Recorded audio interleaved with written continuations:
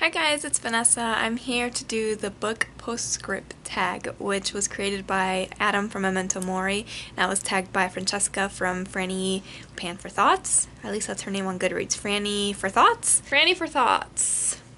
I really like this tag. The first question in this tag is what is the longest book you read this year and and the book that took you the longest to read. The longest book I read was Magpie Murders according to my year in review from Goodreads. I am not a person that reads a lot of long books. The book that took me the longest to read is The Cadaver King and the Country Dentist, which was a beginning of November nonfiction November pick that didn't finish until like the end of December because I had a hard time reading the physical physical copy and was waiting for my hold to come in for the audiobook and that took a long time too. The other book that I put on here that I also thought was one of the longer ones was Crazy Rich Asians, which I read super quickly like the first 200 pages and then I kind of fell off and stopped reading it as fast. I think I kind of just got weighed down with like the repetitiveness and like the just fly on the wall aspect of it and not really connecting with the characters and that took me a month to read and I also returned the physical copy of that book and waited for the audiobook and finished it on audiobook. Next question is a book you read in 2018 that was outside of your comfort zone. I would say this was one of the years where I really tried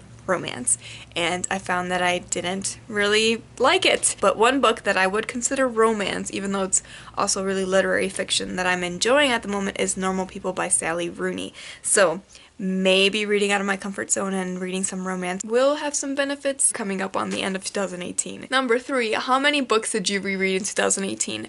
I thought this was gonna be like zero. And then I went on my Goodreads, all the books that I read in 2018, and four of them were rereads. Four!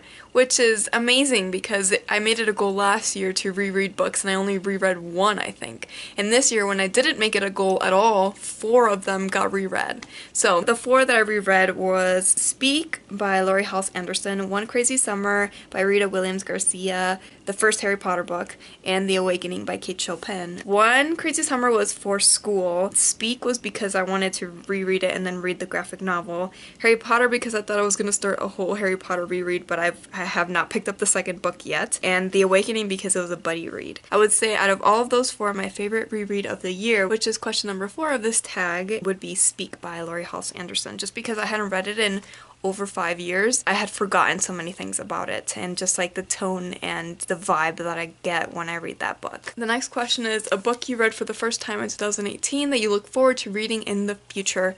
Um, a few of them, I would say. I really enjoyed and would like to reread the graphic novel kind of graphic reporting, Escape from Syria, which was fantastic. I would reread anything by David Small on audiobook. I would love to reread Sadie and the Poet X because they were fantastic audiobook experiences for me and I wouldn't mind re-listening to them. Number six is favorite single short story or novella that you read in 2018 the first time I read this question, I was like, mm, I don't read short stories. I have no answer for this. And then I did realize that I, I have read short stories. I just don't keep track of them as much. One that I would mention is Inventory, which is in Carmen Maria Machado's Her Body and Other Parties. I DNF'd that book because I just, it was too experimental for me and I don't really know if short stories are the type of medium for me but I really enjoyed Inventory and I rated that story five stars. I just loved the apocalyptic vibe of it and how she included other really interesting ways of discussing the passage of time and it's done through like sexual history. I was completely riveted by Inventory. Not so much the SVU story, that was the reason that I DNF'd it, but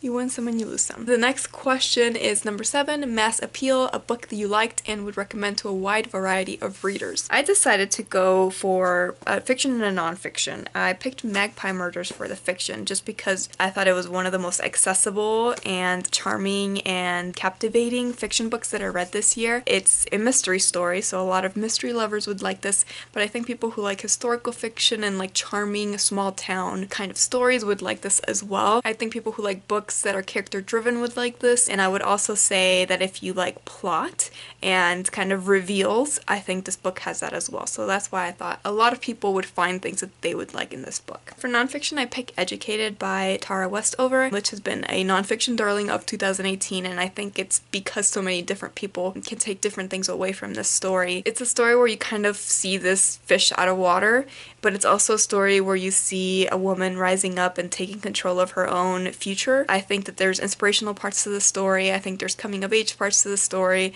Um, there's history parts to the story. Lots of different people would find little nuggets of interest and wisdom. And Specialized Appeal, number 8, a book you liked but would be hesitant to recommend to just anyone. I picked two things. I picked I Will Find You by Joanna Connors. It was a nonfiction book of a reporter trying to track down the man who raped her.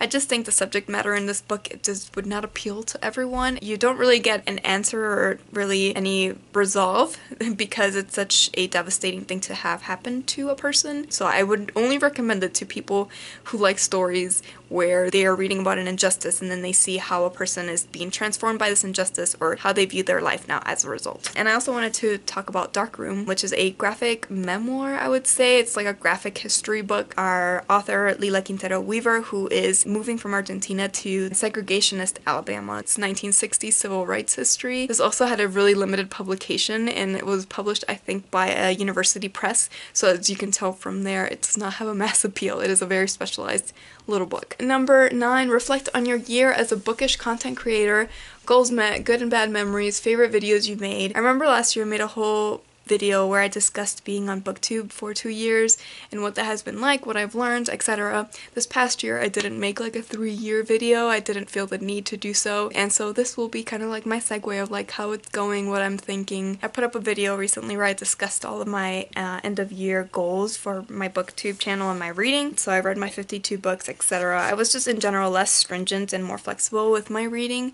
and I like that. Some videos that I really enjoyed making were my goals and stats videos for from last year and like how I did. I'm excited to make another one of those next year and I also made lots of nonfiction November videos and I love making those as well. And that's usually my favorite part of the whole year so I would say any of my nonfiction November videos were my favorite that I made this year. Just in general if you're kind of stagnated Mm, it's okay to, to be in that position. I sometimes feel like I don't know where I'm going with this channel or what people want or what I want to make and sometimes I kind of just feel like I cycle through the same three videos and currently reading videos, TBR videos, wrap-up videos, done. I don't really know sometimes what people actually enjoy or take away from my channel. I took lots of breaks this year. I just, I didn't have a consistent posting schedule. I went months without posting a couple times. I personally feel okay with that. I guess I'm just like confused as to how that is perceived or like what's the point of my channel. So I thought that I would create an improvement survey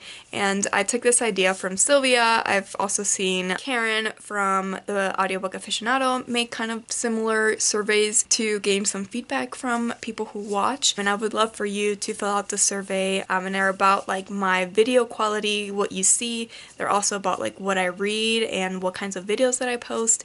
And I would love if you would take the time to fill out as much of it as you can. I would love to gain any of those insights from you. The last question for this video is to tag some fellow bookish content creators. So I'm going to link some of them down below. Thank you so much for watching my video. I hope you enjoyed it. I'll see you in my next one. Bye bye.